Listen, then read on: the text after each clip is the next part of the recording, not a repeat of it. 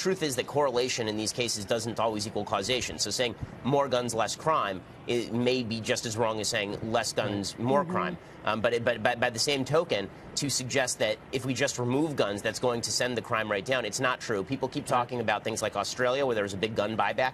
And the fact is that in Australia, they only removed one third to one fifth of guns. The gun crime rate was declining markedly before that, and the United States right. is not the same as Australia. Try going to Texas and telling everybody they need to hand their guns over to the federal government and see how the gun rate, right. the, the gun death rate goes up.